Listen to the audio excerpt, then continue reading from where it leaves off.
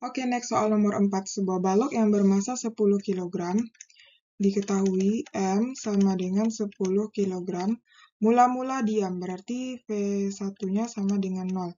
Kemudian dilepaskan sehingga meluncur ke bawah pada kemiringan eh, dengan sudut kemiringan 30 derajat terhadap arah horizontal dan menempuh jarak S sama dengan 10 meter. Saat sebelum sampai di bidang datar, berapa kecepatan balok saat mencapai bidang datar? Berarti yang ditanya itu adalah V2. Oke, berarti di sini uh, dan menempuh jarak 10 meter sebelum sampai pada bidang datar. Nah, berarti ini eh, kira-kira, uh, hmm, oh ya, ini apanya ya? Uh, apa namanya?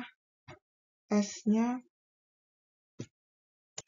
Nah, berarti ini kita gambar dulu ya. Kita gambar dulu uh, apa bidang miringnya. Nah, jadi ini bidang miring. Kemudian berarti ini ada benda. Nah, uh, berarti dia mulainya itu dari atas ya. Dari atas berarti ini V1-nya sama dengan 0. Nah, nanti kan nyampe di sini, berarti itu yang ditanya V2-nya di sini kan. Berarti ini harus kita cari dulu ini sudutnya 30. Berarti H2-nya nanti 0, Nah, H1 ini harus kita cari dulu ya, H1. Nah, H1 itu kita mencarinya dengan persamaan uh, sin ya. Sin, uh, sin 30 sama dengan demi. Sin 30 itu adalah setengah, depannya adalah H1, miringnya adalah 10. Berarti ini coret-coret 5. Berarti 5 sama dengan H1. Berarti H1 itu adalah 5 meter, oke? Jadi dapat kita H1 itu adalah 5 meter. Nah, uh, kemudian kalau kita udah dapat H1, uh, eh, berarti baru kita bisa menggunakan uh, energi mekanik ya. EM di EM1 sama dengan EM EM2. Berarti EK1 ditambah EK EP1 sama dengan EK2 ditambah EP2.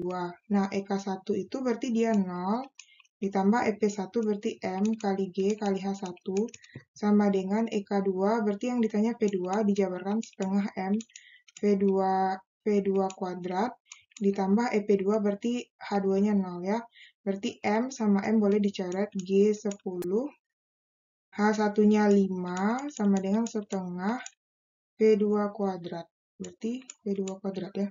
Kalikan ke sini berarti ini 100 sama dengan V2 kuadrat. Berarti ini kita akarkan. Berarti ini dapat 10 sama dengan V2. Berarti dapat 10 uh, meter per sekon ya. Nah, ketemulah kita nilai V2-nya 10 meter per sekon.